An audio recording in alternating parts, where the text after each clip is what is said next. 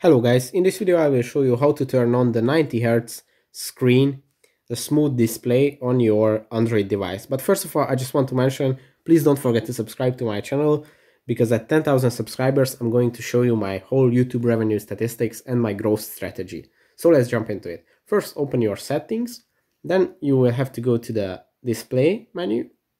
When you open the display menu, right below the brightness, you will see the motion smoothness.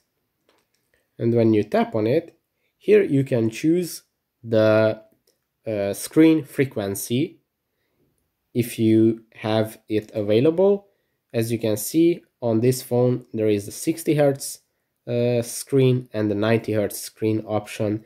On some phones you can also find the 120 hertz screen display and in very rare occasion in uh, on gaming phones you will see 150 hertz display but but that is not really uh, really uh, general right now. So yeah this is how you can choose between different uh, screen options. One thing that you should know that the higher the frequency the more uh, energy will it consume. So your battery will uh, deplete faster but yeah the experience is much better and most of the people like it on a higher uh, frequency.